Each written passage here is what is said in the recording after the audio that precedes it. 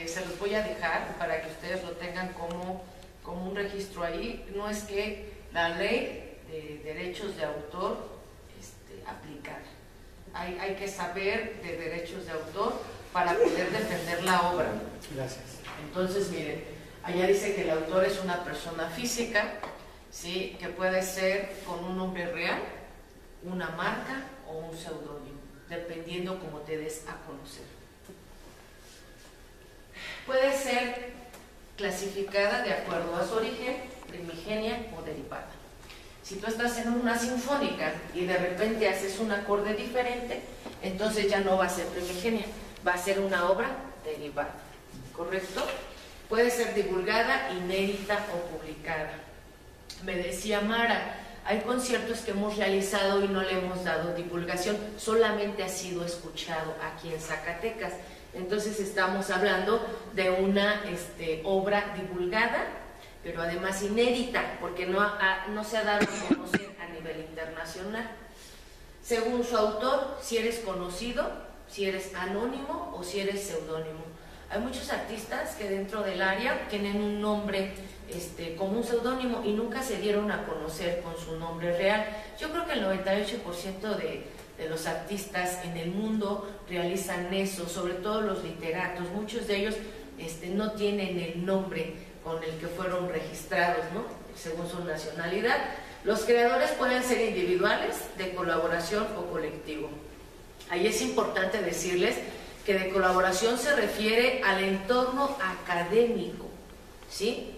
Pero en colectivo ya estamos a un nivel superior, es decir, estamos hablando de una fusión Estado, eh, gobierno y sociedad. Cuando hablo de Estado me refiero a la cuestión de financiamientos. Por ejemplo, en este caso tuvieron apoyo de COSID.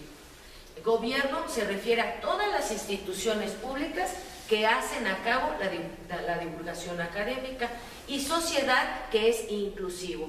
Decía ya bien Marijose, esta, este tipo de foros va a reunir no solamente a expertos en el arte, sino a quien realmente se quiera acercar al arte. Son inclusivos y sirven y tienen como ente a la sociedad.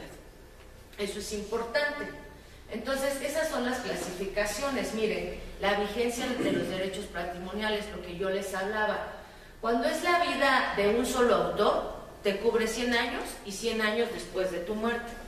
Esto es importante decirlo porque si tú tienes una obra y de repente tienes un retoño al que es, es tu hijo o tu hija, y tu hijo y tu hija pues realmente no es artista y no le interesa y no se va a dedicar a eso, y tu obra no puede quedar sin ser divulgada, ¿qué tienes que hacer? Esos bienes se heredan, es decir, el primer punto que nos solicitan aquí en México para ser miembros del sistema nacional es nombra a tus beneficiarios. ¿Por qué? Porque todos los que están dentro del sistema nacional en calidad de becarios dentro de un PNPC o en calidad de estímulos como es el sistema nacional, siempre dejan un dependiente. Estos bienes son heredables. Ahorita te voy a enseñar formatos y la forma de realizar cualquier registro. En coautoría, ¿no? Esto aquí eh, no sé si se han dado cuenta que en los artículos académicos dice nombra el primer autor y después dice segundo, tercero, cuarto.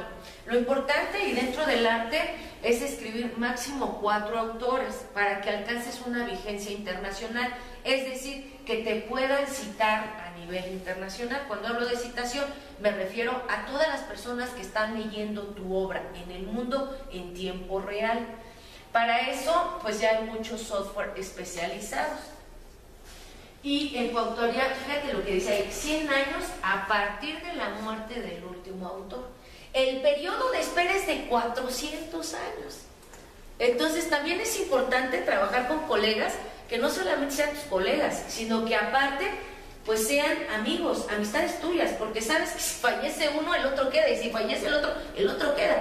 Y al final, cuando fallecen todos, pues ya te protegieron hasta 400 años, cosa que el derecho mexicano pues es muy noble en realizar eso. Y no lo hablo de México, sino esto es a nivel internacional. Obras póstumas, aquellas que nunca fueron este, divulgadas, se volvieron obras póstumas y también les dan 100 años de derechos. Y las hechas al servicio oficial, lo que les mencionaba yo. Si realizas de repente un concierto dentro de una plaza pública de un gobierno o dentro de esto algún 50 años de la de la eh, ¿qué se les ocurre aquí en Zacatecas? El bicentenario que bicentenario que pasó. Y de repente dice María, vamos a realizar un concierto. Ese concierto ya pasa a ser obra de servicio oficial. ¿Sí? O sea, ya no es tu obra porque jugaste en un espacio público de gobierno. Entonces hay que tener mucho cuidado donde divulgamos nuestros productos. Los derechos patrimoniales, yo les decía, si ve eso Da Vinci muere nuevamente, ¿no? Pero se refiere a quién va a explotar tu obra, cómo la van a explotar. Las ramas son todas esas. Puedes proteger literaria, musical, con letra y sin letra, ¿sí?